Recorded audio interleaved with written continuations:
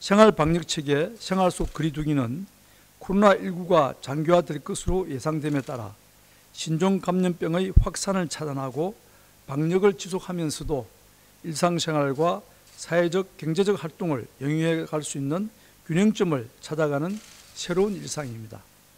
생활 속 거리두기로의 전환은 코로나19 이전의 일상으로 돌아가는 것이 아니라 일상 속에서 거리두기를 실천하는 새로운 사회 규범과 문화를 만들어가는 것입니다.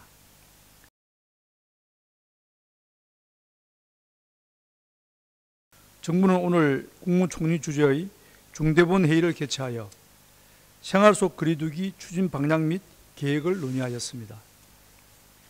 신규 환자 발생이 일일 10명대로 줄어들고 대부분 환자가 방역관리 체계 내에서 발견되고 있다는 것은 코로나19 감염이 안정적으로 감소하며 방역 관리 체계의 통제력이 전반적으로 향상되고 있음을 의미합니다.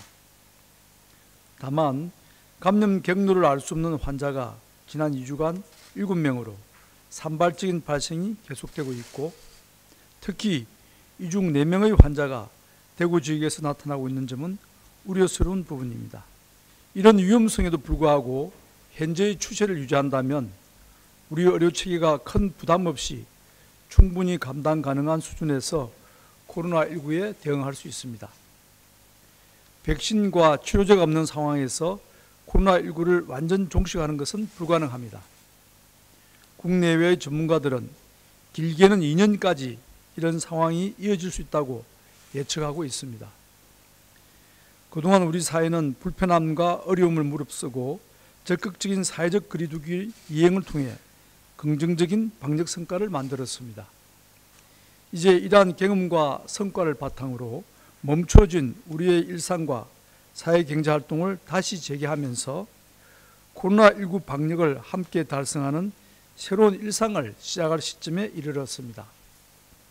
정부는 현 상황에 대한 진단과 생활방역위원회 등 각계 전문가들의 의견을 고려하여 5월 6일부터는 사회적 거리두기를 종료하고 생활 방역 체계, 생활 속 거리두기 단계로 전환하기로 결정하였습니다. 생활 방역 체계, 생활 속 거리두기는 코로나19가 장기화될 것으로 예상됨에 따라 신종 감염병의 확산을 차단하고 방역을 지속하면서도 일상생활과 사회적 경제적 활동을 영위해 갈 수 있는 균형점을 찾아가는 새로운 일상입니다. 생활 속 거리두기는 코로나19의 종식을 의미하는 것이 아닙니다. 지역사회에서 코로나19 감염이 발생하더라도 이에 대규모 전파를 차단하고 집단 감염을 막는 것이 목표입니다.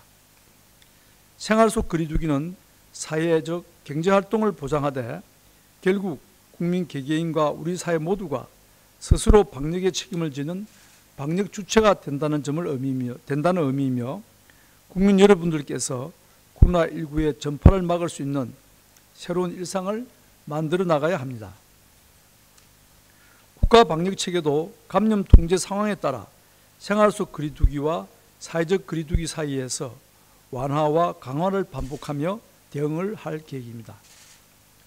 앞으로 방역 당국은 전문가들과 함께 일일 평균 신규 환자 50명 미만, 감염 경로 불명 사례 5% 미만, 집단 발생의 수와 규모, 방역망 내 관리 비율 80% 이상을 유지하는 것을 목표로 코로나19 상황을 주기적으로 종합적으로 평가할 것입니다.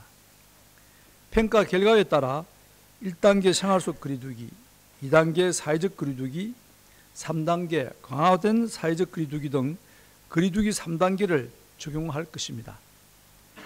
상황이 악화되는 경우 언제든지 다시 강화된 사회적 거리두기로 돌아간다는 점을 유념하시고 생활 속 거리두기를 계속 유지하기 위한 개인과 사회의 노력을 부탁드립니다.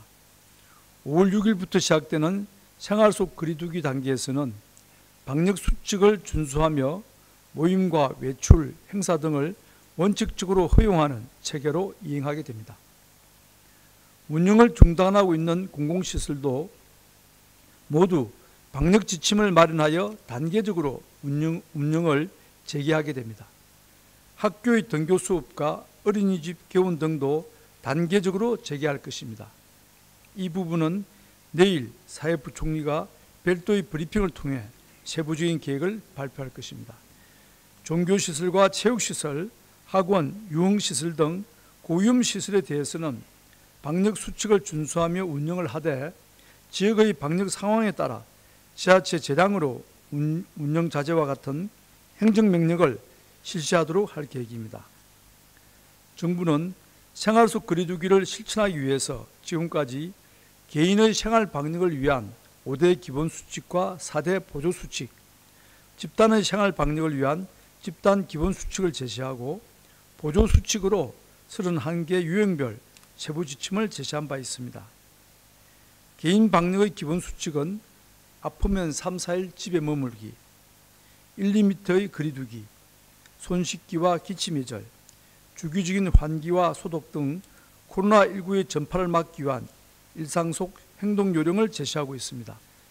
집단 방역의 기본 수칙은 회사나 교회 등의 공적, 사적 공동체 내에서 방역 관리자를 지정하고 집단 내에서 다수가 증상이 나타나는 경우 보건소에 연락하는 등 집단 감염을 차단하기 위한 행동 요령을 제시합니다. 또한 12개 부처에서 마련한 31개 분야의 세부 지침은 국민 여러분의 일상의 삶을 꼼꼼히 망라하기 위해 직장, 식당, 상점, 영화관 등 흔하게 접하게 되는 31개의 세부 장소별로 이용자와 관리자의, 관리자가 준수해야 하는 방역 지침을 담고 있습니다. 각, 수, 각 수칙들은 매우 간단해 보이지만 방역 당국이 수차례에 걸친 전문가 회의를 통해 코로나19 예방에 가장 효과적인 대응 요령들을 핵심적으로 출연되어 구성한 수칙들입니다. 일상에서 실천하기가 쉽지 않으므로 국민 여러분들께서는 각 수칙들을 잘 숙지하시어 일상 속 실천을 위해 노력해 주시기를 부탁드립니다. 생활 방역 지침은 그동안 각 부처별로 국민 여러분과 관계자들의 의견을 수렴하고 생활방역위원회의 검토를 거쳐 최종 확정한 것입니다. 이후에도 계속 국민들의 의견을 수렴할 것이며 현장 상황에 따라 계속해서 수정, 추가될 것입니다. 생활 속 거리두기는 우리가 일상적으로 누리던 많은 것들에 제약을 가할 것이며 처음 시도하는 과정에서 여러 시행착오를 겪게 될 가능성도 높습니다. 그러나 정부는 지금까지 보여주신 국민들과 우리 국민들과 의료인들의 힘과 가능성을 굳게 믿습니다. 지난 3개월간 위기의 순간도 있었지만 우리 모두가 함께 노력한 덕분에 점점 더 코로나19로부터 안전한 사회로 나아가고 있습니다. 지금까지처럼 우리가 힘을 합쳐 함께 노력한다면 대한민국은 코로나19를 막아내면서 일상생활과 경제활동을 영위해 나가는 새로운 미래를 달성할 것입니다.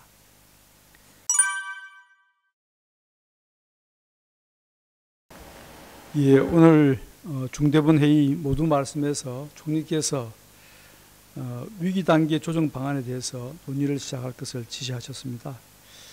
어, 저희들 방대본이나 중수본에서는 현재의 그 국내 상황을 좀 더 지켜볼 필요가 있다고 생각합니다. 우선 지난 3일 전이죠.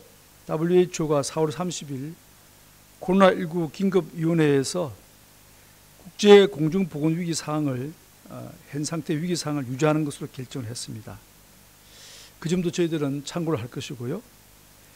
어, 그리고 우리가 자체적으로 지금 내세우고 있는 지표는 어, 감염원이 확인되지 않은 감염 사례가 얼마나 되는지 또 신규 확진 환자 수가 매일 얼마 정도 나오는지 그리고 특히 저희도 좀 염두에 두고 있는 것은 4월 말에서 올초 사이에 있었던 예, 장기간의 연휴 기간 동안에 많은 국민들의 이동이 있었기 때문에 그 국민들의 이동의 결과 과연 새로운 신규 환자가 추가적으로 발생하지 않을 것인지 등을 면밀히 좀 주시를 하고 있습니다.